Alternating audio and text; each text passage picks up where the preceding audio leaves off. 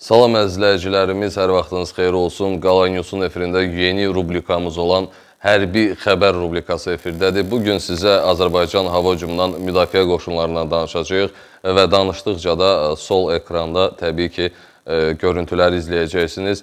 Azərbaycan Hərbi Hava Qüvvələrinin nəzdində yerləşən hava hücumundan müdafiə qoşunları sırf Azərbaycan hava məkanının müdafiəsi və mühafizəsini təyin etmək üçün nəzərdə tutulmuşdu və hər bir dövlətin ordusunda bu qoşun növü var, hava hücumundan müdafiə qoşunları var, lakin hava hücumundan müdafiə qoşunları da hərbi hava qüvvələri kimi kifayət qədər böyük məbləğdə vəsait tələb edən və baxış tələb edən, diqqət tələb edən bir e, qoşun növüdür. Çünki kifayət qədər e, bahalı e, vasitələrdən istifadə olunur, kifayət qədər baha vasitələrdən, elektrotexnikadan, radiolokasiya sistemlərindən, eyni zamanda komplekslərdən istifadə olunur. Bəs ölkəmizin hava hücumundan müdafiə komplekslərində nələr yer alır? Baş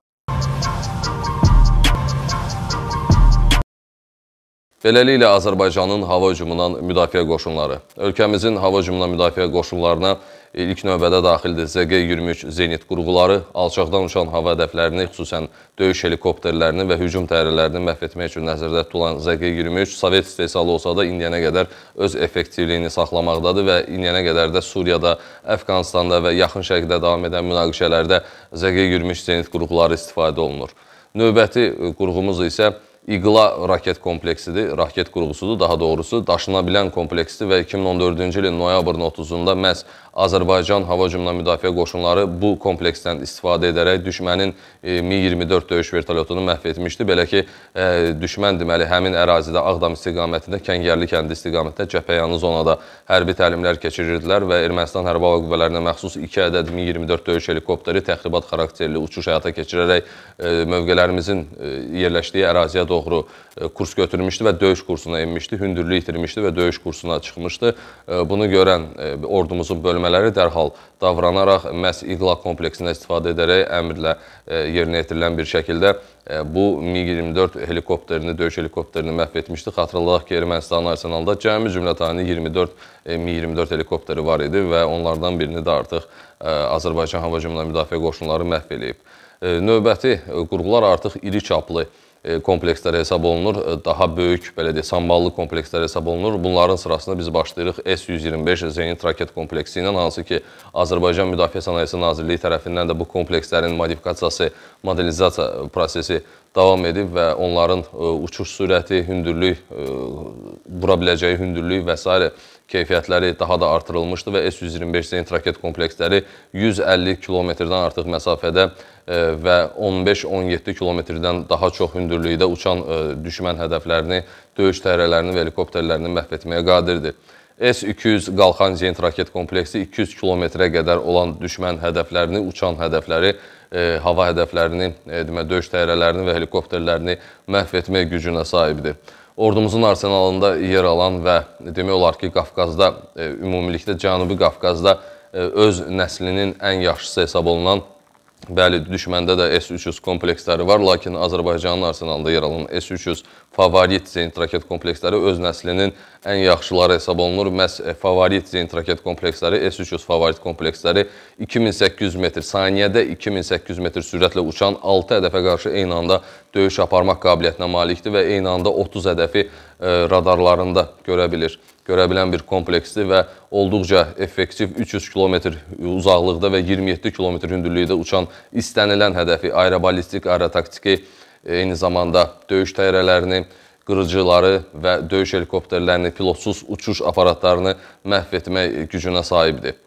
Bundan başqa ordumuzun arsenalına yaxın illərdə yenicə qatılmış punkt 569 Buk M1 Zenit raket kompleksidir ki, özü yeriyən Zenit raket kompleksi eyni zamanda mobil Zenit raket kompleksi sayılır və istənilən əraziyə daşına bilir asanlıqla tırtıllı texnikanın şassi üzərində yığılmışdı və Buk M1 kompleksləri eyni zamanda istənilən döyüş təyyarəsini və döyüş helikopterlərini və müxtəlif təyinatlı uçuş vasitələrini məhv etməyə qadirdir və özünün radiolokasiya sistemləri var, təchiz olunub və olduqca keyfiyyətli komplekslərdir. Biz bunun döyüş, sırf real döyüş sınağını məhz Rus-Gürcü müharibəsində Gürcüstan tərəfi Ukraynadan əldə etdiyi bildirdiyim kimi Buk M1 kompleksləri, raket kompleksləri ilə Rusiya aviasiyasının 19 hərbi aviasiya hər vasitəsini məhv etdi. Bunların sırasında Su-25 hücum təyyarələri, və indiyənə qədər Rusiya 2-ci Dünya müharibəsindən sonra, Böyük Vətən müharibəsindən sonra bu tip döyüş təyyarəsi itirməmişdi. Bura daxildir Tu-22M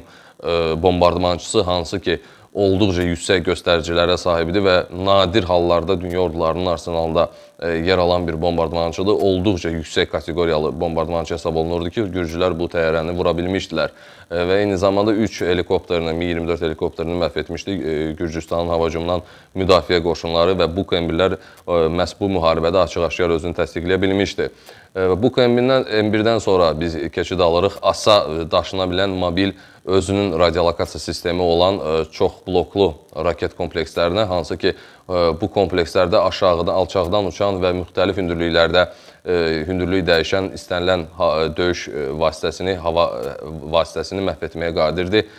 Bura daxildir hücum təyyarələri, bura daxildir qırıcılar, xüsusilə də pilotsuz uçuş aparatları modifikasiya sayəsində ölkəmizdə aparılan demək, Müdafiə Sənayesi Nazirliyi tərəfindən aparılan modernizasiya nəticəsində məhz ASA kompleksləri pilotsuz uçuş aparatlarında vurmağa qadirdirlər. Bax belə Azərbaycanın hava hücumundan müdafiə qoşunlarına bu tip e, deməli raket kompleksləri və müxtəlif qurğular, zenit kompleksləri daxildir. Odur ki, ölkəmizin ümumiyyətlə hava hücumundan müdafiə qoşunlarını düşmənlə müqayisə etmək mümkünsüzdür. Çünki olduqca böyük fərq var arada. Belə deyək, milçə ilə fili müqayisə etmiş kimi çıxarıq düşmən ordusuna nəzər yetirsək, düşməndə S-300 kompleksləri var. Bəli, deməli Rusiya tərəfi bu onlara bu güzəşti gedib və S-300 komplekslərini Ermənistana verilib. Lakin S-300 nəslində ən yaxşı kompleks bildirdiyim kimi favorit kompleksidir ki, hansı ki Azərbaycan bunu öz arsenalına qatıb və 2008-ci ildə ilk dəfə keçirilən müstəqillik dövründə ikinci dəfə keçirilən, lakin müasir dövrümüzdə ilk dəfə və möhtəşəm bir paradla